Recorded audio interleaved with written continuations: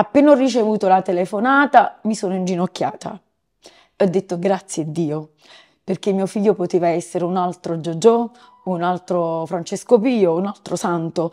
Poteva finire in tragedia l'aggressione subita sabato scorso da un giovane di 23 anni in Vico San Francesco ad Aversa, a pochi passi da Via Seggio, a parlare sua madre Rossella che ci racconta quei drammatici momenti. Il ragazzo insieme ai compagni di un'associazione teatrale si era fermato dopo le prove per mangiare qualcosa prima di rientrare a casa. All'improvviso un gruppo di ragazzi li ha avvicinati e senza alcun motivo apparente ha iniziato a colpirli con ferocia. Hanno preso una birra e l'hanno lanciata sul viso di uno dei ragazzi. Mio figlio diciamo è quello quello che è stato picchiato di più.